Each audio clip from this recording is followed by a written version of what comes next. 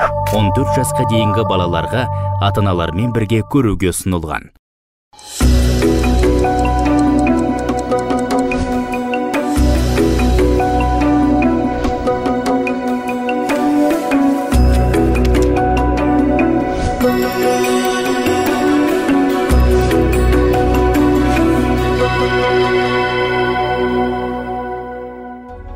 Бүгінгі бағдарламадан көретіндеріңіз қарапайым ободокты әрлеу тәсілі.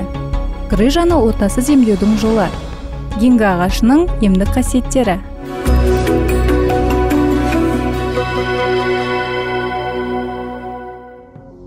Әдемі көйлек әдемі әшекей әдемі шашқа тағатын бұйымдар қыздарды қашан да қызықтырып тұрады. Ал өзің қызыққан дүниені алуға әрқашан қалтаң көтере бермейді. Сондықтан ол әшекейді қолдан жасап алған тиімді. Әрі арзан әрі эксклюзив. Сәлем достар. Бүгін мен сендерге қарапайым ободокты әрлеуді үйретемін. Ол үшін бізге ыстық клей және де гүлдер дайын гүлдер ободок қажет болады. Ал енді бастаймыз. Ыстық клеймен дайын гүлдерді жабыстырамыз.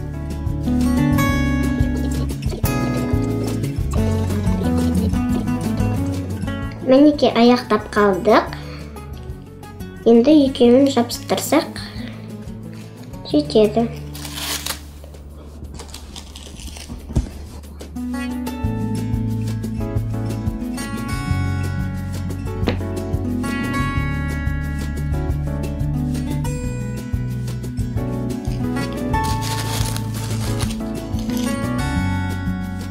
Мінекей біздің ободогымыз дайын болды. Ал сіздер өздеріңіздің тағамдарыңызға қарай басқа түсін таңдауларыңызға болады. Сау болыңдар достар.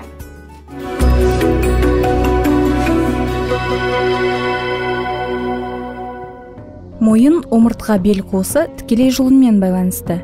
Егер ол дұрыс қалыптаспаса жұлын мен қан тамырлары қысылады. Осыдан кейін аталған мүшелерде ақау пайда болады. Омыртқа ауруларының пайда болу себептері қандай? Гиппократ айтқандай э, қандай да аурудың түрі болса оның бір ғана себебі омыртқа. Яғни қазіргі таңда ә, омыртқа ауруларымен бізге шағымданатын ә, науқастардың саны күрт көбеюде. Себебі оған арнайы қазіргі өздеріңіз, өздеріңіз білетіндей партада дұрыс отырмау немесе жұмсақ диванда отыру одан да басқа көптеген себептерге байланысты омыртқа аурулары өте жиі кездесуде халықтың арасында. Ә, яғни ол ә, дұрыс отырмаудың салдарынан омыртқаның қисаюы болады. Ол яғни сколиоз деп аталады ғылыми түрде ә, сколиозды дер кезінде емдемесек омыртқаның араларында өзінің арнайы дискілер болады. Ол дискілер қажала бастайды. Яғни ол омыртқаның өзінің дұрыс қалыпты деңгейінен ауытқыса ол жерде бізде арнайы дискілерге қорек бармайды. Жолынан яғни қорек бармағандықтан ол уақыт өте келе қажала бастайды. Яғни ол ғылыми түрде протрузия деп аталады. Протрузияны емдемесе әрине ол грыжаға келіп әкеліп соқтырады. Яғни біздің ә, әрбір омыртқа мойын кеуде бел омыртқалары әрбір омыртқа адамның әр ағзасына әрбір мүшесіне жеке жеке жауап беретін өзінің функциялары бар. Ә, яғни омыртқаны емдесек қалған кез келген емнің жолдарын табуға да болады деген сөз. Бүгінде әлемнің әр бесінші тұрғыны омыртқа бел ауруларына шалдыққан. Әсіресе мүшелердегі ақау жастарға байқалады. Ал қозғалу мен дұрыс отырмаулардың салдарынан пайда болатын ауру жұлын арқылы ішкі ағзалардың әлсіреуіне әсер етеді. Грыжаның түрлері қандай? Омыртқаның жаңағы айтқандай грыжа стадиясы бар. Сол грыжа кезеңі ол да бөлінеді. Яғни бір сантиметрге дейінгі және бір сантиметрден кейінгі грыжаның түрлері. Яғни бір сантиметрден кейінгі грыжаның түрлері ол яғни ол арнайы ота жасауға дейін алып барады. Ал біздің орталық сол отаға дейінгі кезеңді емдеумен айналысамыз. Яғни ә, қандай түрмен айналысамыз? Яғни ол ә, омыртқаны созумен. Яғни омыртқаның өзінде ә, былай айтқанда бұлшық ет корсеті деген болады. Арнайы омыртқаның барлығын дұрыс дұрыс қалыпты деңгейде ұстап отыратын. Сол корсетті яғни сол бұлшық ет корсетін біздің мақсатымыз қатайту егер де сол бұлшық ет корсеті дұрыс қатайса яғни омыртқаның да функциясы он- оның ә, жұмыс жасау функциялары әрине өзгереді. Көбінесе біздің ә, жасалатын қолданатын тәсіл ә, жаңағы емдеу гимнастикасы айтылады. Ол омыртқаны созу арқылы қалып, қалыпты деңгейіне келтіру. Емдеудің алдында ең алдымен неге мән беру керек? Басты ескере кететін жайт ә, бұл қандай да емнің қандай да емдеу жолдары болмасын ә, оның дұрыс жүруінің басты себебі ол жақсы жасалған диагностика. Оны ешқашан да ұмытпау қажет. Өйткені диагностика дұрыс жасалмайынша ә, емдеу жолдары да ары қарай дұрыс жүрмеуі мүмкін. Яғни қазіргі таңда бізге келіп жатқан науқастардың көбісі ә, келгенде біз арнайы ә, былай сырт бейнесіне қарап немесе айтылған ә, анамнездеріне қарап бірден емдеу тәсілдеріне көше бермейміз әрине. Бірінші деңгейде біз қазіргі таңда ең жақсы дамыған томографияның түрлерін жібереміз. Мрт немесе кт компьютерный томография деп айтып жатады магнитті резонанс томография. ол жақта арнайы снимоктарын береді және де ол жақтың арнайы мамандары радиолог дәрігерлер өздерінің қорытындысын жазады сол дәрігерлердің қорытындысына қарай келе отырып біз емдеу әдістерін тәсілдерін ұсынамыз. омыртқаны отасыз емдеуге бола ма? оның түрлері қандай?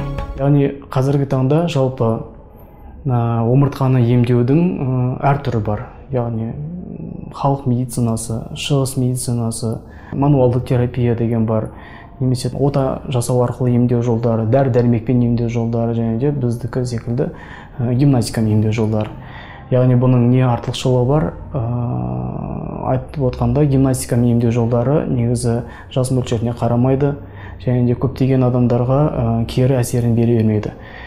Енді басқа емдеу тәсілдерін біз дұрыс емес деп одан жоққа шығарғанда емес мақсат әрине. Бірақ ә, мануалды терапия көп адамдарға кейбір жас мөлшері егде жастағы адамдарға ол жарамауы мүмкін. Яғни оны емдеймін деп ол кері әсерін тигізіп алуы мүмкін. Дәрі дәрмектің де мысалға қазір ә, кейбір түрлеріне ә, адамдардың арнайы бір алле- аллергиясы болуы мүмкін.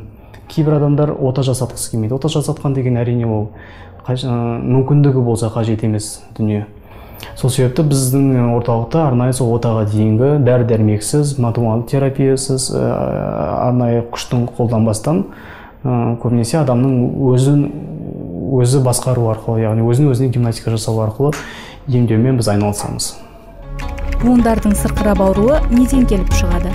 Жалпы жаңа мен өзіңізге айтқандай ә, барлық нәрсе диагностикаға қайтып келіп тіреледі. Яғни көбінесе біздің науқастардың көбісі мысалға арнайы бір ә, былай айтқанда орысша айтқанда жалобамен келеді.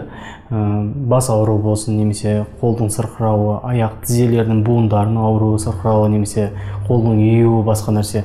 Бірақ көптеген жағдайларда диагностика нәтижесі бойынша олар ә, ешқандай да аяқтың да то есть тізенің ол жерде ешқандай қатысы болмай яғни оның барлығы тікелей ә, бел омырт мысалға аяқ ауырса ол бел омыртқадағы омыртқаның ә, жұлындарының бір қыстырылуының себебінен соның салдарынан көбінесе болып жатады. Яғни ә, жаңа мен басында сөздің басында айтып кеткендей барлық қандай ауру болмасын көбісі негізі омыртқаға байланысты.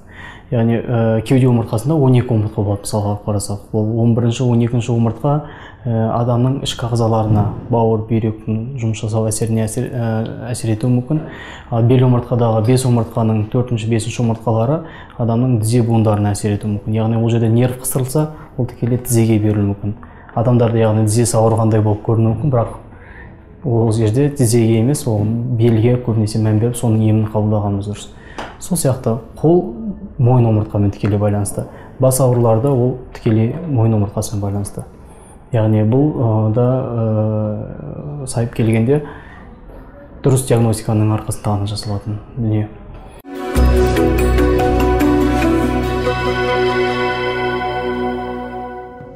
Гинка ағашы қытай жапон елдерінен таралған. Кейде қылқан жапырақты кейде жалпақ жапырақты ағашқа жатқызылады. Құпиясы көп ғажайып өсімдік. Ерекшелігі өте көп ағаштардың қатарына жататын гинго ағашы. Бұл ә, сонау динозаврдың досы деп атайды сөйтіп атау себебі ол сол заманнан бері біздің қазіргі уақытқа дейін екі өсімдік қана ә, жеткен екен. Оның біреуі мына гинго ағашы және екіншісі ол қырық жапырақ. Бірақтан қырық жапырақ ол кезінде ағаш тектес болып қазір бұталы болып қалса бұл өзді, өз қалпын сөйтіп ә, сақтаған.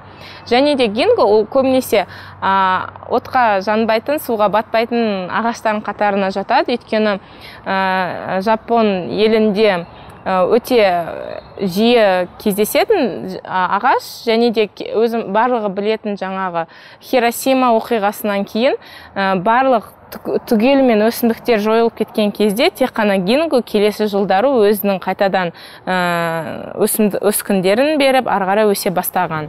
Арадан қаншама уақыт өтсе де бұл ағаш аса өзгеріске ұшырамаған. Ыстық пен суыққа газ бен отқа төзімді ағаш. Ғалымдардың зерттеуі бойынша гинганың кейбір түрлері 3000 жыл өмір сүреді. Көгалдандыру саласында 1691 жылдан бері қолданылып келеді. Бұл ағаштың емдік қасиеттеріне тоқталсаңыз. Егер де дәріханаға баратын болсаңыздар көптеген дәрілердің сыртында гинго белоба тұқымынан жасалған жапырағынан жасалған бұның діңінен өзінен де мысалы осы ішкі ішкі ағзаларға енді әр түрлісіне әртүрлі мақсатта қолданатын көптеген дәрілер жасайды.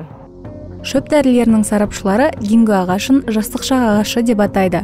Себебі бұл өсімдік адам ағзасының қартаю процесін баяулатады. Гинго билоба кез келген жасушаның немесе ағзаның қан айналымы жолдарын қалпына келтіреді. Гинго билобаның препараттары бас айналуы әлсіздік құлақ шуылы есте сақтау қабілетін жақсартуға сонымен қатар күйзеліспен күресуге көмектеседі.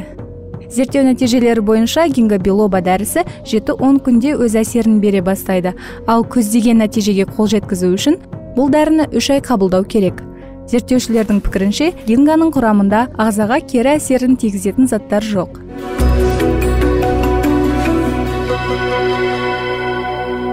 Көгалдандыруда кең қолға алынғанмен табиғатта жоғалып бара жатқандықтан 2000 жылы оны дүниежүзілік қызыл кітапқа енгізген. Гинганың биіктігі орташа есеппен 25-30 метрді құрайды. Жапырағы мен жемісі дәрілік мақсатта қолданылады. Жемісі жеуге жарамды дәмі тұздылау бірақ иісі жағымсыз келеді. Ағаштың күтіміне байланысты не айтар едіңіз?